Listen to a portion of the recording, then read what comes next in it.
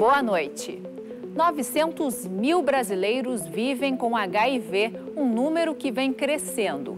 Muitas dessas pessoas foram infectadas pelo vírus e nem sabem. Por isso, a importância do Dezembro Vermelho, mês de mobilização nacional, com o objetivo de sensibilizar a população sobre a prevenção e o tratamento precoce. Esse período foi escolhido em razão do Dia Mundial de Luta contra a AIDS, definido como 1 de dezembro. Para falar sobre o assunto, o Frente a Frente recebe o médico infectologista Paulo Ernesto Gever Filho.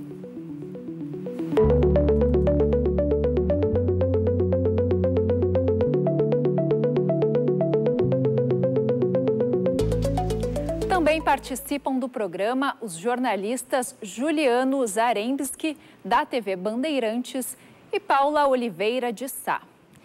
Primeiramente, doutor, uma boa noite. Eu gostaria de começar esclarecendo que nem toda pessoa que tem o HIV, que foi infectada pelo vírus, ela desenvolve AIDS, não é? De certa forma, sim, mas é, observando que to, praticamente todas as pessoas que contraem o vírus HIV, em determinado momento elas vão, é, no curso da doença, desenvolver a AIDS, que a gente chama. Né? A AIDS é um estágio é, conhecido como síndrome da imunodeficiência adquirida, em que os sistemas de defesa do organismo estão baixos por conta da ação do vírus, e isso possibilita o aparecimento de doenças chamadas de oportunistas. E esse nome se deve a elas aproveitarem essa baixa do sistema de defesa e causarem doenças infecciosas, geralmente, que não se vê num sistema imunológico normal. Uh, também é interessante a gente fazer um retrospecto, né? entender como surgiu a AIDS no mundo. É importante a gente lembrar que a, a AIDS, o vírus HIV, ele não é uma doença nova, né? Ele já tem algumas décadas acompanhando o ser humano, mas em virtude do de toda a história da humanidade, é uma doença relativamente nova. Né? A gente tem como o início da epidemia, o início dos anos 80, né? É, mas hoje, através de estudos, a gente vê que o vírus HIV ele foi uma mutação de um vírus é, parecido com o HIV, mas que infectava primatas não humanos, né? E isso foi eh, identificado na África, então a provável origem desse vírus HIV foi na África. E isso veio através do hábito de algumas tribos de conviverem próximos esses primatas não humanos, né, chimpanzés e, e macacos verdes africanos. E esses macacos tinham um vírus chamado SIV, né, que era o vírus da imunodeficiência dos símios. E pela convivência com esses animais, através das culturas de cada tribo e eventualmente o consumo da carne é, fresca até desses animais, esse vírus entrou em contato com o organismo humano e através das mutações que ele sofria muito facilmente, ele conseguiu se adaptar e aí é, dá origem ao vírus HIV como a gente conhece hoje. Isso talvez tenha acontecido por volta da década de 40, de 50, né? Hoje a gente tem já um caso identificado em 1959 na cidade de Kinshasa, uma pessoa que morreu e posteriormente essa amostra de sangue foi testada para o vírus HIV e foi identificada como positiva, né? E mas a epidemia ela começa nos anos 80. Até os anos 80, então a gente tem dos anos 40 até os 80, 40 anos, uh, esses vírus eles foram passando por mutações e passando de pessoa a pessoa de uma forma mais lenta. Né? Uh, no final dos anos 60, 70, através de uh, conflitos armados na África, grandes migrações e, e, com a questão das viagens transcontinentais, esse vírus foi acompanhando as pessoas nesses deslocamentos e até apareceu o primeiro caso é, conhecido hoje como paciente zero, que é um comissário de bordo, é, que começou a transmitir esse vírus e, de uma forma mais importante, é, acometendo principalmente a comunidade de homens homossexuais. Né? E isso se deu lá em São Francisco, mas aconteceu em vários outros locais do mundo, né, ao mesmo tempo. E essas pessoas começaram a, a apresentar um, um certo tipo de tumor considerado raro, que é o sarcoma de Kaposi, né, que acomete principalmente a pele causando lesões escuras, né, bem chamativas, mas que era uma doença considerada rara. O aumento da frequência dessa doença e de outras infecções eh, denominadas oportunistas chamou a atenção da comunidade científica, comunidade médica na época, e que iniciou um processo de investigação. Esse processo eh, levou à identificação do vírus, né, em 83, eh, e posteriormente métodos, ferramentas diagnósticos de identificação, são os exames que a gente conhece atualmente, e, e até o uso da primeira medicação, chamada de AZT, em Doutor 1987. Paulo, eu queria aproveitar esse gancho, uh, aproveitando esse resgate histórico da origem do HIV e da AIDS e tentando projetar. Uh, com o desenvolvimento de novos medicamentos, tratamentos, métodos de prevenção mais modernos, a gente consegue estipular em quanto tempo podemos chegar a uma cura para o HIV, para a AIDS? Ainda é muito cedo para a gente pensar nisso? Eu acho que muito se avançou né, nos últimos anos e quando a gente fala de cura, a gente costuma imaginar que seria a eliminação total do agente infeccioso, no caso o vírus, né? Mas hoje a gente, há vários anos, a gente fala de cura funcional, ou seja, com os tratamentos, e são mais de 30 medicamentos e associações diferentes que existem hoje e outros tantos sendo testados, eh, a gente consegue controlar o vírus e impedir que ele eh, agrida o sistema imunológico e destrua ele possibilitando que esse sistema imunológico funcione normalmente e a pessoa leve uma vida normalmente também. É, isso a gente chama de cura funcional. Né? Existem dois casos, a título de curiosidade, que a gente chama de cura quase completa. Né? É, são dois pacientes conhecidos como o paciente Berlim e o paciente Londres. Né? São pacientes com HIV e que acabaram apresentando dois tipos de linfomas, né, de, é, câncer de células sanguíneas, e esses pacientes foram submetidos a um transplante de células tronco. Né? E nesses dois casos se foi escolhido os doadores né, dessas células tronco, pacientes com alguma mutação bem específica no receptor CCR5D32 e que essa mutação ela oferece uma resistência à entrada do vírus nas células. Né? Então, o que, que aconteceu? Esses pacientes receberam essas células, esse transplante, e continuaram o tratamento e é, posteriormente foi suspenso o tratamento e o vírus não retornou. Né? E isso já são alguns anos que esses pacientes vêm sendo acompanhados, né? o paciente Berlim mais antigo, o paciente Londres mais recente, e se fala talvez de uma cura né, através desse tipo de tratamento, mas que oferece uma série de riscos uhum. porque o paciente submete a uma quimioterapia muito forte. Uma cura por meio de uma droga, de um medicamento, isso ainda está muito distante. É, neste momento, a gente não consegue visualizar a curto prazo um tratamento definitivo, né? uma cura definitiva. Mas existem é, vários grupos no mundo inteiro pesquisando diferentes estratégias de tratamento seja para melhorar a eficácia da cura funcional uhum. ou seja para trabalhar numa cura definitiva. E nisso eu coloco como uh, um estudo importante, relevante, um estudo sobre uma vacina contra o HIV que está sendo realizado em vários centros no mundo e o Brasil é um desses, né? E que mostrou, e está numa fase 3, que é uma fase mais adiantada do estudo, e que mostrou resultados promissores até então. Né? Mas a gente sempre lembra, é, principalmente aos pacientes, que a gente tem que ter muita cautela e aguardar o resultado desses estudos e a discussão na comunidade científica a nível mundial para a gente analisar esses dados, para a gente poder trazer para a prática até que essa informação chegue para o paciente. Doutor Paulo, o Rio Grande do Sul é um dos principais estados com maior número de casos né, de AIDS, inclusive Porto Alegre desponta na frente. Né? Nós estamos vivendo uma nova epidemia de casos de AIDS?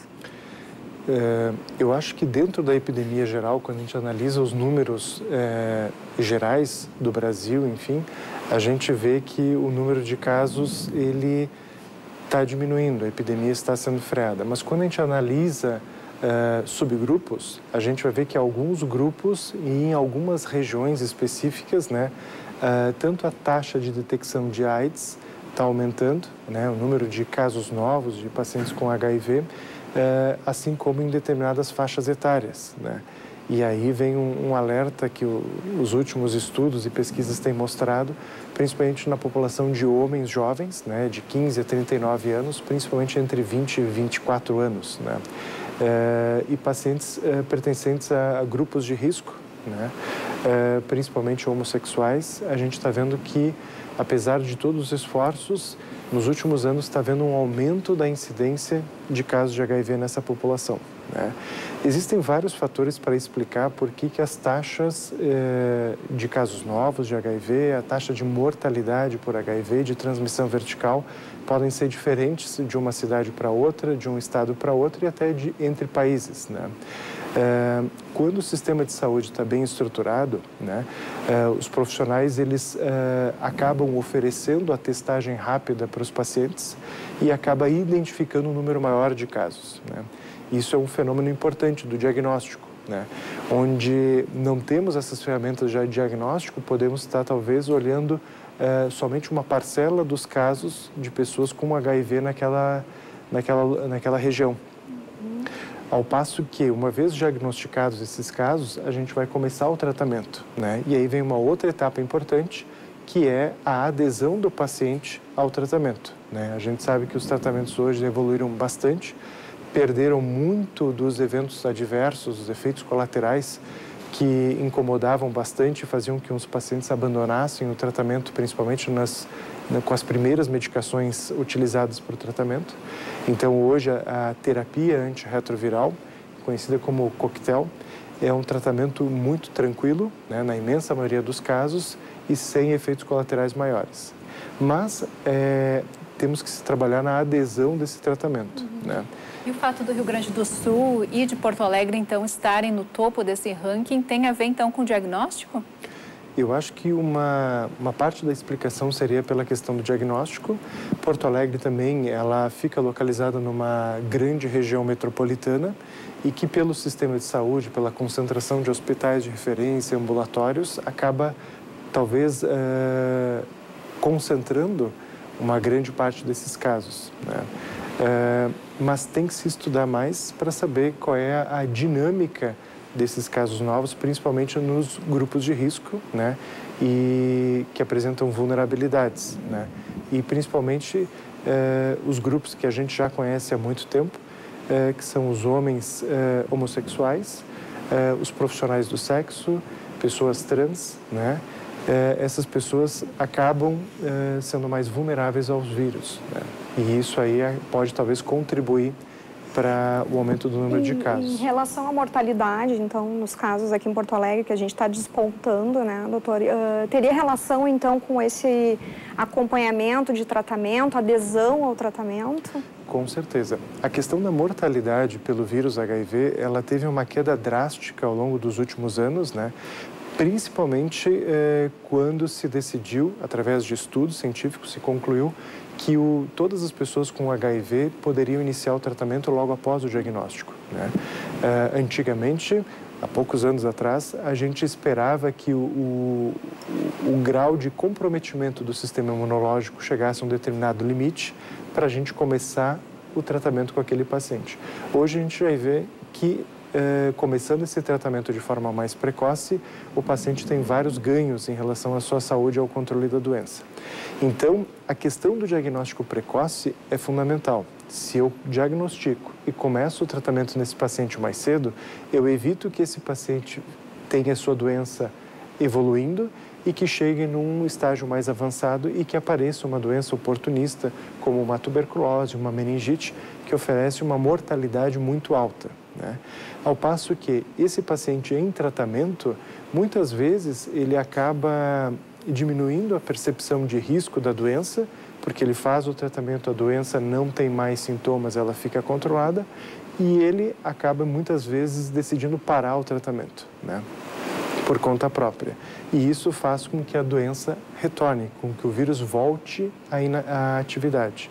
E, e outras situações que a gente sabe também que é o, uso de drogas, transtornos psiquiátricos. Isso dificulta que o paciente tenha uma adesão adequada ao tratamento. Mas são questões igualmente então, importantes. Então, isso explicaria o aumento, então, do, dos casos de mortalidade? Aumenta. É, E uma outra questão importante é que em regiões onde o sistema de saúde não tem a estrutura adequada para tratar esses casos mais graves, as complicações de uma infecção pelo HIV eh, avançada, uh, eventualmente a gente vai ter uma mortalidade maior. Então, o sistema de saúde ele tem que trabalhar simultaneamente na prevenção de novos casos, no diagnóstico precoce e no tratamento, tanto do HIV quanto das complicações dele. Doutor Paulo, falando sobre a importância da manutenção do tratamento, que essas pessoas sigam executando o seu tratamento, seguindo o tratamento. O UNAIDS publicou uma pesquisa, um levantamento inédito recentemente, mostrando que 6 em cada 10 pessoas que vivem com HIV no Brasil já passaram por alguma situação de discriminação. Isso é um, isso é um fator que impede, de fato, que desmotiva essas pessoas a seguirem o seu tratamento por causa do estigma que ainda existe em relação ao HIV e à AIDS? Essa é uma questão muito importante que vem acompanhando a epidemia desde o início. Né? A questão do estigma e do preconceito, eh, infelizmente, acompanhou a epidemia de HIV e que estava no início mais associada com grupos de homens homossexuais. Né? Mas se viu, ao longo do tempo, que eh, a questão de grupo de risco ainda existe, mas a gente fala hoje em comportamento de risco, em vulnerabilidade. E nisso entram todas as pessoas. Né? E eu costumo explicar que não só homens que, têm, que fazem sexo com homens, mas heterossexuais, bissexuais, trans, uh, gestantes, eventualmente, se, se tiverem o vírus durante a gestação e não fizerem o tratamento adequado, podem passar pelos filhos, isso a gente chama de transmissão vertical, né? Idosos, nos últimos anos a gente viu uh, uma alteração do comportamento da sexualidade dos idosos através das medicações que tratam a impotência, né? Então a gente viu que esse grupo retornando à atividade sexual e sem os cuidados adequados também se tornou vulnerável. Mas uh, esse estigma e, e, esse preconceito ainda acompanham os pacientes que vivem com HIV, né? E isso dificulta uh, em várias áreas da vida deles, né? Tanto no trabalho, quanto na família, quanto na parte de relacionamento não só amoroso, mas sexual também. Uhum. A questão de dificuldade de falar para o parceiro que tem o vírus, né? Então, isso é, dificulta, é, pode levar a quadros é, de depressão e ansiedade, e isso dificulta, enfim, a questão da boa adesão. E até do sistema de saúde, muitos pacientes às vezes se queixam de serem discriminados de algumas formas, enfim, isso é uma coisa que a gente tem que trabalhar bastante para que todos os pacientes, não só os pacientes vivendo com HIV, mas que sejam de, tratados de uma forma é, educada, uma forma democrática, uma forma transparente, uma forma igual. Né? Mas os pacientes com HIV, eles relatam muitos uh, episódios de discriminação ao utilizar o serviço de saúde. E isso, claro, é um fator que acaba afastando o usuário do sistema no momento que ele mais precisa. Que hoje o tratamento a gente pode comparar talvez ao tratamento de alguma pessoa que tem diabetes, que tem alguma outra doença crônica, mas que a gente não vê passar por situações de discriminação ou de um estigma ainda tão, tão grande quanto tem com as pessoas com HIV e AIDS. Com, com certeza. Uh, acho que o fato fundamental é o, o, a pessoa que tem o diagnóstico de HIV e que tem o vírus, ela não se sente à vontade por conta do preconceito, do estigma, de falar nem muitas vezes para as pessoas mais próximas, né? Uhum. Então, é, tem questões até de aceitação do diagnóstico, um sentimento de culpa muito grande, né? Por achar que deveria ter tido um determinado comportamento diferente em alguma situação, né? E, e também pelo medo da rejeição, às vezes seja do parceiro, seja da família, seja dos colegas de trabalho e da sociedade como um todo. É, as outras doenças é, eventualmente tem questões peculiares a cada uma, mas não enfrentam uma discriminação tão grande da sociedade quanto o HIV. Né? Então, eu poderia dizer que, pela minha prática, os pacientes ainda sofrem preconceito e não se sentem à vontade de eh, revelar o seu diagnóstico, de falar com as outras pessoas.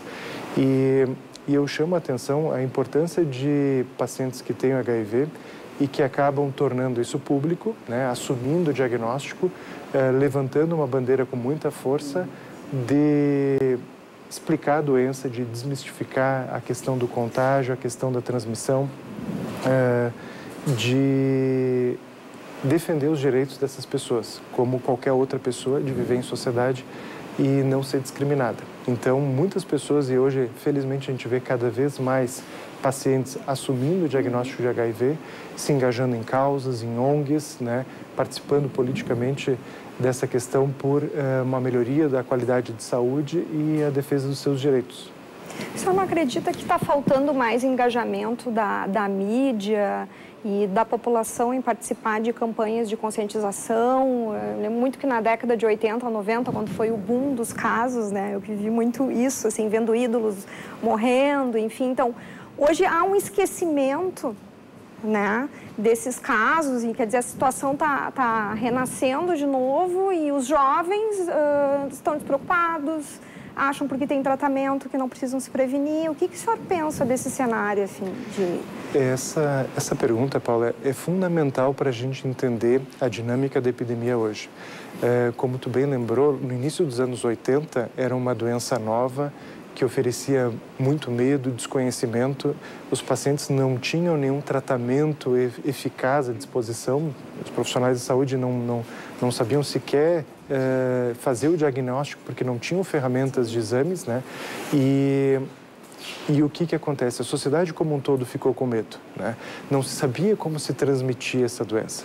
E a percepção de risco associar, eh, em relação ao desconhecimento e associada com a questão da mortalidade, a questão de não ter tratamento eficaz, isso deixou toda a sociedade alerta, né? E querendo saber mais dessa doença, como é que ela era. Isso foi a década de 80, né? Uh, e junto com isso, a sociedade ela aderiu mais às questões de usar preservativo, é, de cuidar as maneiras de transmissão da doença. Né? Eh, na década de 90, novos tratamentos foram surgindo, a questão da mortalidade foi diminuindo de forma importante, né? A década de 2000 também, né? Pessoas assumindo o HIV, diminuindo a carga de preconceito e estigma. Né? Novos medicamentos. Né? Novos medicamentos também. E a doença passou a ser uma doença aguda com uma alta mortalidade para uma doença crônica que pode ser tratada, com acompanhamento ambulatorial, garantindo uma qualidade de vida muito boa para os pacientes. É, com isso, e a gente vê através dos números das taxas de mortalidade em cenários onde os pacientes fazem o diagnóstico e aderem ao tratamento, a taxa de mortalidade cai de forma importante. E, e essa taxa de mortalidade vem caindo nesses grupos à medida que avanços tecnológicos vão chegando até eles. Né? É, Quero lembrar que esses avanços, infelizmente, eles não chegam de uma forma igual a todas as populações como a gente gostaria, e isso é um dos grandes avanços. Mas a população jovem hoje, ela não teve o contato, essa vivência com esses casos de ter familiares, pessoas conhecidas, é, eventualmente pessoas de referência no mundo artístico, no mundo do esporte, né, é, que tiveram essa doença e acabaram falecendo, né, e, e hoje em dia elas acabam enxergando uh, uma parte uh, da história que a epidemia, a doença, ela tem uma cura funcional mediante um tratamento que se avançou bastante, se tornou uma doença crônica e as pessoas uh, não têm uma mortalidade altíssima como tinha no início da epidemia. O senhor acredita então que isso contribui para as pessoas não têm mais tanto medo como tinham de, da certeza. transmissão e isso tem contribuído para o aumento de casos ainda no Brasil? Com certeza. Acho que a nível mundial, né, a percepção de risco de uma doença é que leva o paciente a procurar uh, auxílio, ferramentas, conhecimento, uh, aconselhamento médico uh, em relação à questão da prevenção. Quando a gente fala de outras doenças, como por exemplo febre amarela, ébola, e outras doenças que têm uma mortalidade grande e eventualmente surgem através de surtos ou epidemias, né, com amplo espaço de divulgação na mídia, justamente para alertar a população daquele fato uh, relevante sanitário, né, as pessoas acabam procurando mais os recursos. Então, à medida que uh, as doenças e principalmente o HIV não tem um espaço mais na mídia, as pessoas uh, acham que é uma doença que não está mais no radar, que não, não é mais uma doença grave, uma doença importante. E hoje a gente sabe que um paciente com HIV, ele faz o tratamento, tem uma qualidade de vida muito boa. Mas o ideal é que esse paciente nunca tivesse o vírus HIV. Então, o trabalho da prevenção. Doutor, agora a gente vai fazer um rápido intervalo. O Frente a Frente já volta, não saia daí.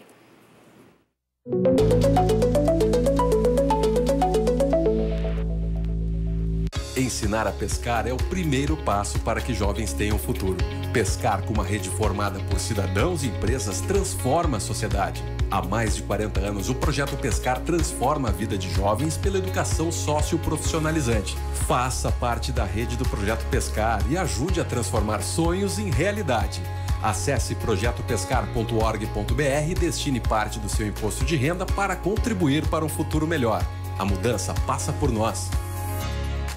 Clipes musicais dos mais variados gêneros, notícias sobre música e entretenimento, divulgação de conjuntos do Brasil inteiro, agenda de shows e bandas ao vivo direto dos nossos estúdios. Tudo isso e muito mais tu encontra aqui no Radar, de segunda a sexta, às 6 horas da tarde, na nossa TVE. E se tu perdeu alguma das nossas edições ou quer assistir algum programa de novo, entra lá na nossa página no YouTube para conferir os programas gravados. Aproveita e acessa também a nossa página no Facebook para ficar por dentro das novidades do programa. Radar, o programa de todas as tribos na TV de todos os gaúchos e gaúchas.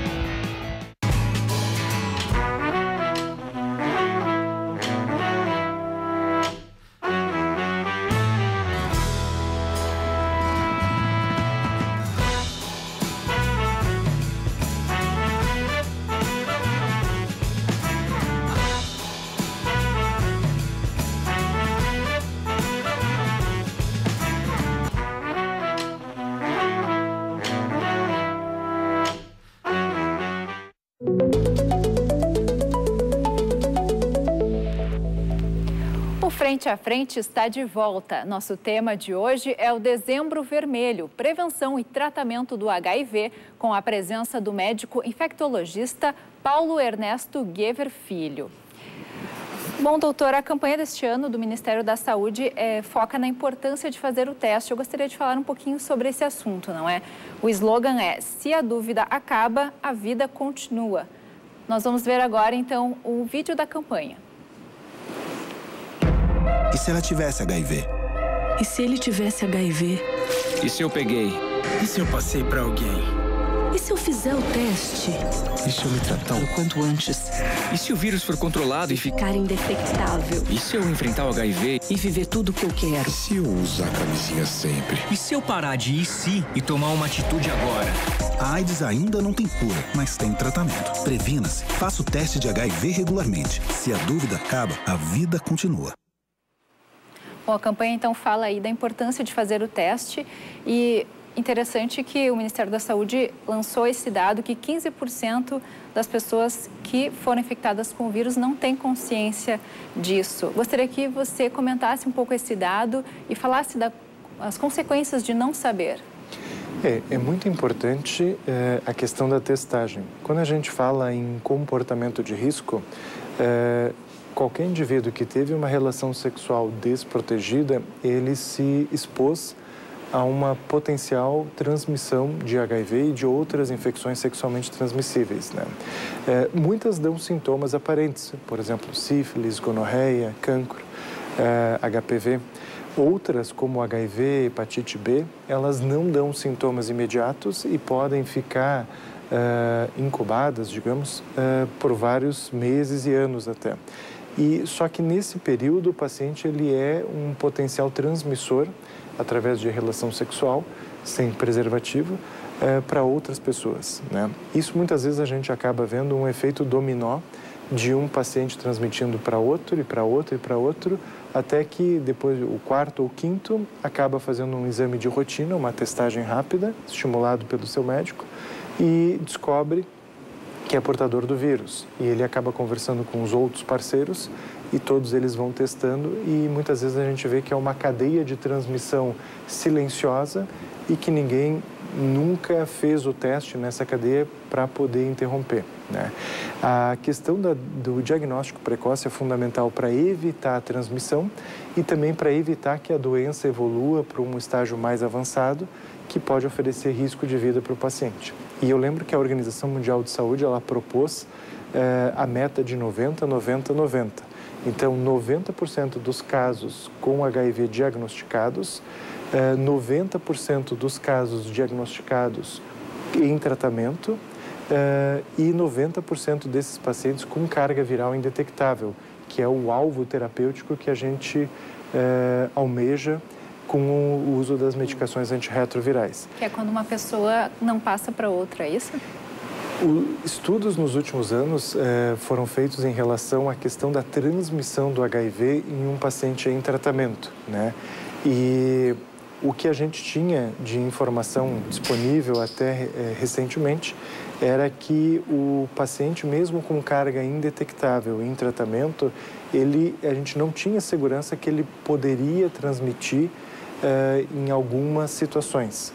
Uh, agora, com vários estudos surgindo, uh, se estabeleceu o conceito que indetectável é intransmissível. Então, os pacientes que estão com carga viral indetectável há mais de seis meses, com boa adesão, eles acabam não transmitindo o HIV nas relações. Né? É, mas isso é uma, é uma informação importante, mas que sem, tem que ser discutida no conjunto de várias outras estratégias de prevenção, né? É, por quê? É, isso muitas vezes pode levar o paciente a achar que ele não precisa mais usar o preservativo, quando o preservativo é fundamental isso até e estimulado sempre. Abordar com, com o senhor. O preservativo ele é o método mais tradicional, mais conhecido, é um método indicado. Mas na prática, para muitas pessoas, é um método que, que não agrada. As pessoas não gostam de usar e acabam se expondo a alguns comportamentos de risco. Uh, existem alguns outros métodos já mais modernos e acho que a profilaxia pré-exposição é uma delas. O SUS disponibiliza desde 2018, mas segundo o Ministério da Saúde são 11 mil pessoas mais ou menos que usam a PrEP em todo o país. Seria importante que esse número fosse ampliado e e que essa estratégia fosse oferecida também para outros grupos, que não apenas os grupos vulneráveis? Essa discussão é importantíssima, Juliano. Uh, o uso do preservativo é o método de barreira mais eficaz que a gente tem para transmissão, evitar a transmissão não só do HIV, como de outras infecções sexualmente transmissíveis. Quando a gente uh, olha só para o HIV, a gente não pode se esquecer das outras infecções, sífilis, hepatite B, HPV, uh, eh, gonorreia, clamídia, entre outras. Né? Então, uh, o aconselhamento sempre vai ser pelo uso do preservativo, em qualquer situação, tanto de sexo oral, anal e vaginal. Agora, a gente sabe que essas estratégias são eficazes, mas muitas vezes elas perdem um pouco da eficácia no momento que elas são colocadas na vida real. Então, elas perdem em efetividade. Porque em algumas pessoas, em alguns grupos, é, que não usam preservativos, se não em todas, mas em algumas é, relações, em algumas situações de risco, é, a gente precisa ter o auxílio de outras estratégias. E aí vem duas estratégias muito importantes. Né? A profilaxia pré-exposição, chamada de PrEP, e a profilaxia pós-exposição. A profilaxia pós-exposição seria na situação em que um paciente que não tem HIV eh, se expõe a uma situação de risco, ou uma relação sexual sem preservativo, ou um acidente com material biológico, falando em profissionais de saúde, né? Uhum. Esse paciente tem é, um tempo hábil de 72 horas para procurar um serviço de saúde especializado para fazer testes e começar o, o tratamento com medicações antirretrovirais. Isso tudo é, pelo SUS? Pelo SUS, gratuitamente. Tem unidades de referência em todo o estado. É, o tratamento durante 30 dias, com nova testagem e acompanhamento, para evitar a, se houve o contato com o vírus, que ele fique e se instale de forma definitiva no organismo. Né? Então, isso é fundamental que as pessoas saibam dessa estratégia, dessa ferramenta. Porque muitas vezes a situação de exposição acaba acontecendo num ambiente que é fora do horário comercial ou eventualmente é numa festa, numa viagem. Então, as pessoas têm que saber que esse recurso está disponível em todo o Brasil. Claro que não de forma é, é, em, presente em todas as cidades do Brasil, mas que existe as unidades de referência, hospitais que são abertos 24 horas. Então é importante que as pessoas saibam. E a profilaxia pré-exposição, ela veio através de estudos eh, na última década mostrando que pacientes uh, que não têm HIV e que têm relações, eventualmente, situações de risco ou eventualmente até com parceiros uh, soropositivos, né? a gente chama isso de casais sorodiscordantes, onde um não tem e o outro tem. Uh, o paciente que não tem o vírus HIV, que seria o soro negativo, ele utilizando uma, uma combinação de duas medicações antirretrovirais, ele diminuiu em mais de 90%, em alguns estudos até 99%, uhum. a transmissão, a aquisição do vírus HIV. Então, isso se tornou uma estratégia muito importante para redução de dano naqueles pacientes que a gente sempre vai recomendar que tenha relação com preservativo, né? mas que a gente sabe que devido a questões eh, individuais de preferência e, enfim, a, a, pessoa acaba não utilizando ou não se lembra de utilizar em 100% das vezes. Usar uma estratégia combinada de, de prevenção. Sim, é sempre uma estratégia combinada. E que nesses pacientes que têm essa estratégia, eles façam a testagem regularmente. Uhum. Né? Então, os estudos são promissores, mostram que essa estratégia da profilaxia pré-exposição, ela protege bastante os pacientes, mas ainda a gente não tem a garantia que hum. proteja 100% das situações. Até porque às vezes alguns pacientes podem parar de usar medicação ou podem usar outras medicações que atrapalhem o funcionamento dessas, né? Então tem que ter um acompanhamento de perto desses pacientes. E, doutor Paulo, como trabalhar a prevenção nas escolas, né? A gente sabe que os adolescentes estão começando a ter as primeiras relações sexuais muito cedo. Né? Então, como trabalhar até dentro do projeto Saúde na Escola? Gostaria que o senhor falasse um pouquinho sobre esse, esse tema. É, a, a questão de educação e saúde ela é fundamental para todas as doenças e, e, situações que a gente pode é, ensinar uma criança é, desde os primeiros anos, né, conforme o grau de entendimento dela, né, e para que essa criança não só cuide da sua saúde, mas que também seja uma multiplicadora, que ela traga esses conhecimentos para dentro de casa e para o círculo de amigos dela. Né? A escola é um ambiente fundamental, um ambiente de referência, de formação do cidadão, né? de valores e de conhecimento. Né? O conhecimento que é oferecido de saúde a essas crianças e adolescentes é um conhecimento científico, técnico. E quando a gente vê num país uh, que nem o nosso, o número de gravidezes na adolescência aumentando, uh, o início da atividade sexual uh, diminuindo, cada vez mais precoce, uh, muitas vezes a gente vai chegar atrasado em relação a esse indivíduo, né, com o conhecimento necessário para que ele consiga proteger e cuidar melhor da sua saúde. Né? Muitas vezes os pais acabam negando o início da atividade sexual dos seus filhos por vários fatores, né?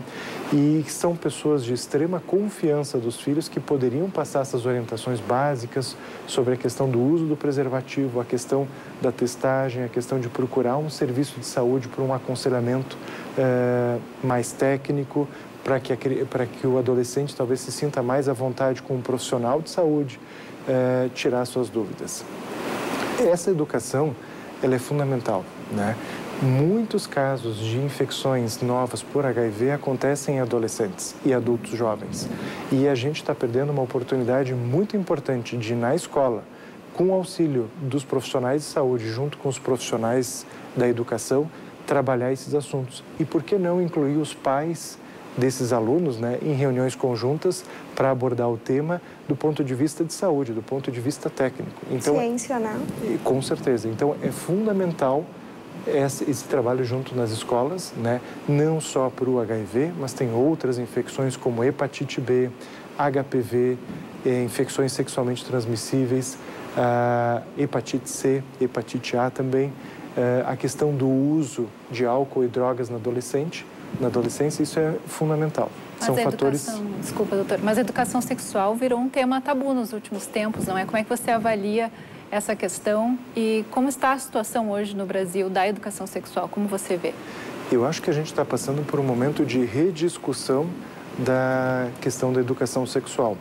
Acho que os profissionais mais indicados para entender o comportamento sexual uh, da nossa sociedade, da nossa cultura atual, talvez seriam uh, uma equipe multidisciplinar com psicólogos, uh, médicos, pedagogos e outros profissionais para entender esses comportamentos. Né? Uh, A questão da educação sexual, ela tem que ser focada na questão de saúde, né? De orientar sobre o conhecimento técnico com uma linguagem que, as, que as crianças e adolescentes entendam, né? Acessível e adequado a cada faixa etária, né? Então, muitas vezes a questão da sexualidade, ela, ela vai surgindo desde o início da infância, vai sendo evoluindo por partes, até culminar uh, nas escolhas, nas opções sexuais do adolescente, do adulto jovem, e que tem que ser sempre respeitadas, orientadas, amparadas por todos, né? sem preconceito uh, e discriminação, que é a pior talvez seja uma das piores faces da nossa sociedade o preconceito e a discriminação em qualquer área.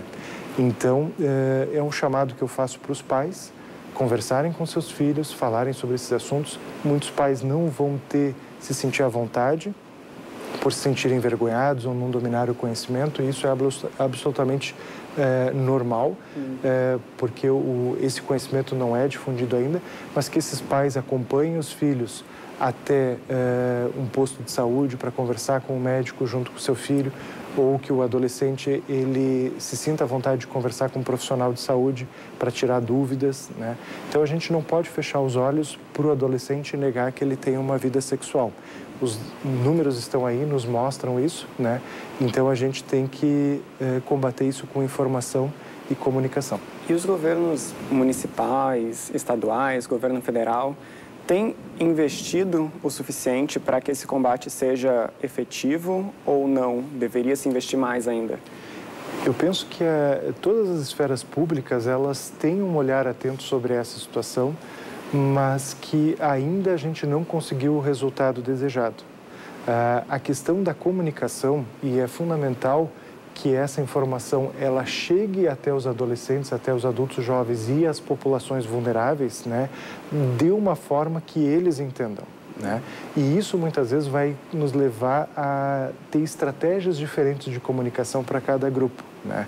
Uh, os adolescentes e os adultos jovens fazem parte de uma geração chamada de millennials, né? que tem formas uh, intrínsecas e, e, muito particulares de se comunicar, de se relacionar, e, e, isso a gente vem acompanhando ao longo da, da evolução da, da nossa sociedade nos últimos, nos últimos décadas, enfim, a questão da modificação dos comportamentos, né? Então, eh, tem que se entender como é que esses grupos se relacionam, eh, vão atrás e acessam a informação para a gente traçar estratégias específicas para cada grupo. Acho que assim, aí sim a gente vai estar tá usando a ferramenta certa para o público correto. E acho que isso vai dar um retorno muito importante, porque vai tirar essa questão de que o HIV é uma doença que não é mais perigosa, que não oferece riscos e que se eu por acaso contrair o HIV, eu vou fazer um tratamento e vou ter uma vida absolutamente normal. O tratamento ele avançou muito, mas a questão da prevenção sempre é melhor do que tratar. Isso é uma frase que a gente usa e muito. E como está o processo de desenvolvimento de novas de vacinas, né, contra o vírus? O que, que há de mais novo, mais recente, está mais perto? Existem várias estratégias e, e, ao longo dos últimos 10 anos tiveram uh, uh, incrementos importantes em relação à tecnologia, né? Uh, Antes de falar de vacinas, eu vou falar em, em, estudos que estão sendo realizados neste momento, inclusive em Porto Alegre, sobre medicações antirretrovirais que, em vez de serem dadas através de comprimidos, elas são dadas através de injeções, né, é, com uma periodicidade de quatro semanas ou oito semanas, tanto para o tratamento quanto para a prevenção. Né? A gente comentou aqui que os pacientes muitas vezes eles têm dificuldade de lembrar, de tomar o comprimido, enfim. E, e, essa é uma estratégia que pode muitas vezes uh, resolver essa questão né, do esquecimento. Né?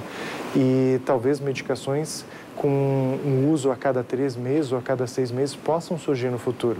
E isso vai nos levar a uma garantia que o paciente está recebendo tratamento de forma adequada. Né? Uh, outra questão da vacina uh, uma vacina que combata o vírus e elimine ele por completo é uma das estratégias que está sendo buscada.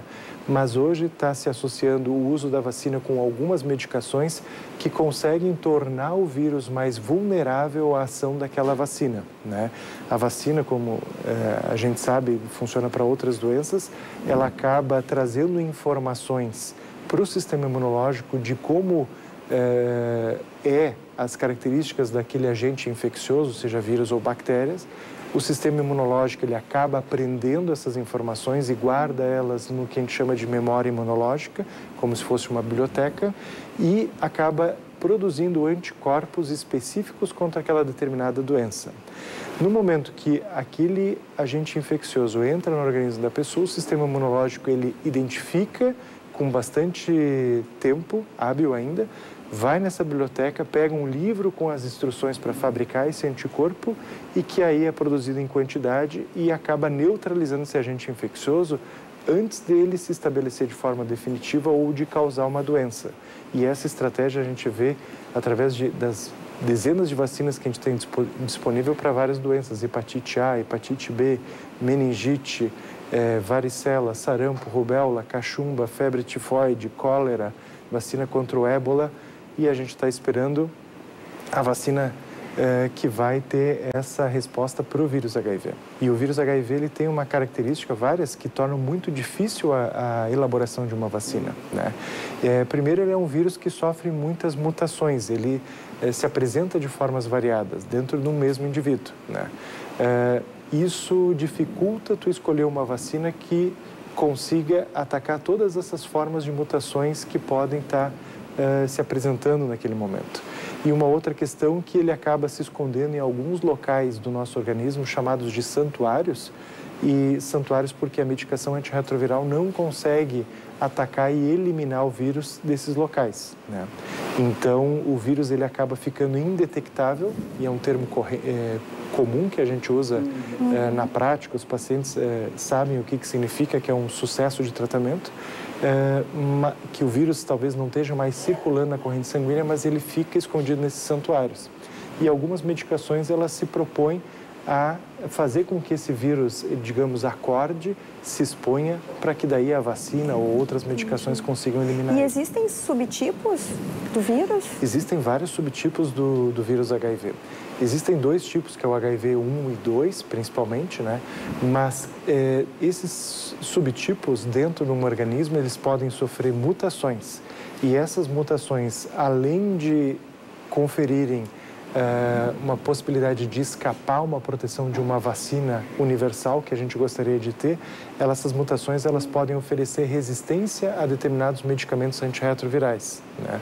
E aí faz com que o tratamento utilizado uh, até então, ele acaba se tornando ineficaz porque o vírus adquiriu, adquiriu uma mutação de resistência.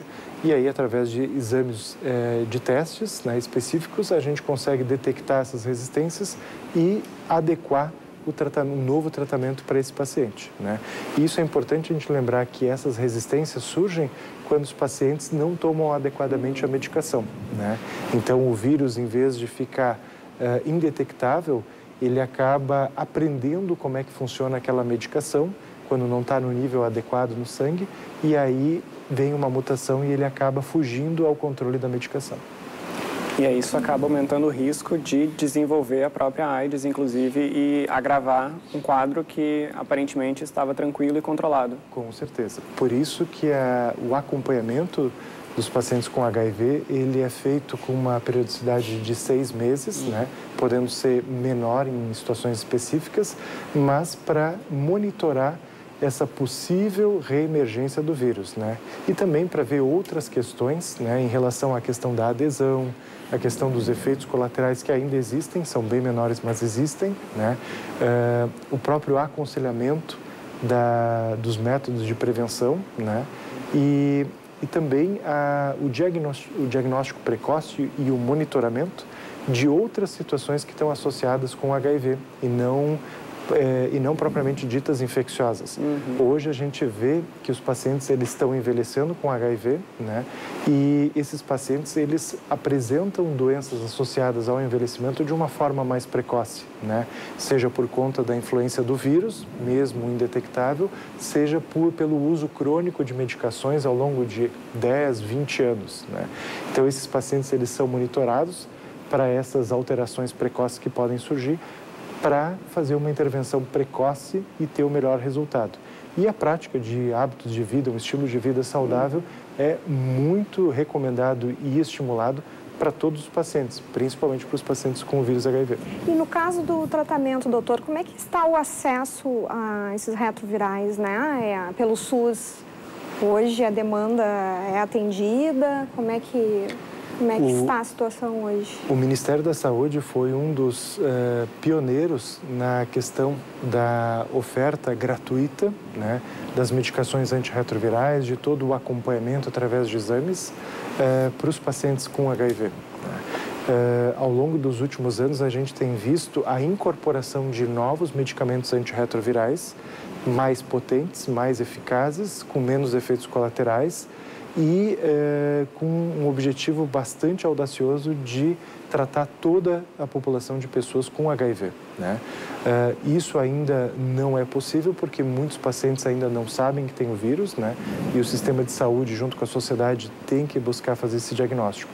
É, situações existem de desabastecimento dessas medicações antirretrovirais por questões de logística dentro do Ministério da Saúde e que muitas vezes acabam é, causando algum transtorno para os pacientes, como troca de medicamentos temporária e, e depois retorno no abastecimento.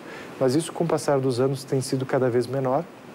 É um, é um projeto audacioso de fornecer medicação para todos os pacientes, né? E são medicações que têm um custo muito elevado em outros países e que no Brasil é disponibilizado gratuitamente. Mais de 20 medicamentos e associações e a gente tem outras medicações ainda que não foram uh, registradas e, e aprovadas para uso no Brasil, que a gente espera que o quanto antes elas cheguem e estejam disponíveis para pacientes, mais opções uh, e melhores a gente vai ter para esses tratamentos. Doutor, nosso tempo já está chegando ao fim. Eu acho importante, então, a gente terminar com uma mensagem aí de, da importância da prevenção e também do teste, não é? Que é feito nas unidades de saúde e é sigiloso e gratuito também, não é? Sim, a questão do sigilo e da privacidade, ela é inerente a qualquer tipo de atendimento de saúde e tem que ser respeitada. Né? É, na questão do HIV, pela questão do estigma e do preconceito, com uma, uma importância muito maior. Né? E os pacientes eles têm que receber essa informação, então é um compromisso do sistema de saúde, da sociedade como um todo, que essa informação chegue até ele, não só informação de prevenção, mas como a de testagem e informações sobre tratamento. Né? É, hoje a gente está numa fase da epidemia que a mortalidade baixou, mas o número de casos novos eh, em algumas populações específicas tem aumentado, o que nos preocupa, né? E que nos faz rever se as nossas estratégias elas estão indo na direção correta. Eh, esse esforço é fundamental e não só do ponto de vista do Brasil, mas do mundo inteiro. A gente tem condições eh, tecnológicas de tratar os pacientes, fazer a testagem tratar, é, identificar esses pacientes e tratar. E se esses pacientes estiverem com carga viral indetectável, eles não vão transmitir a doença. E aí a gente vai impedir a cadeia de transmissão. Se por um lado a gente não tem ainda a cura definitiva, mas a gente tem uma cura funcional e uma cura, se a gente pode chamar assim, de transmissão. Né? Então, hoje a gente teria condições disso, mas a gente sabe que a questão prática de vida real tem diferentes cenários, a questão de recursos financeiros também é importante. Né? E, e eu peço para que todas as pessoas se engajem nesse assunto, como vários outros de saúde, mas esse é um assunto super importante. Uh, hoje a, o, o HIV ele não tem mais o perfil de grupo de risco somente, mas de comportamento de risco. E aí toda a sociedade ela pode estar exposta a esses comportamentos de risco em algum determinado momento da vida. Uh, as pessoas que têm HIV podem ser nossos familiares, nossos colegas de trabalho, podem ser nossos amigos, podem ser nós mesmos. Né? Então é fundamental que a gente trabalhe a questão do preconceito, da discriminação, não só para o HIV, mas para qualquer outra situação. E, e as ONGs, né, é, de pessoas que dão suporte, apoio à questão do combate ao HIV, elas é, têm que trabalhar mais, a gente tem que dar mais suporte para elas, para elas ajudarem nessa questão de divulgação, de conscientização, né? É, pessoas é, ativistas que participaram de várias ONGs foram fundamentais é, para o estágio que a gente se encontra hoje. Talvez sem a ajuda deles não seria possível estar é, tá no nível de controle atual da epidemia, que está aquém do desejado, mas que já é bem melhor do que era no, no início dos anos 80, 90 e 2000, né? E, e eu queria fazer uma, uma breve lembrança a um ativista que infelizmente nos deixou, né? Recentemente, o José Hélio Costa Lunga, né? Foi uma pessoa que teve um papel fundamental através das ONGs no Conselho Estadual de Saúde, né?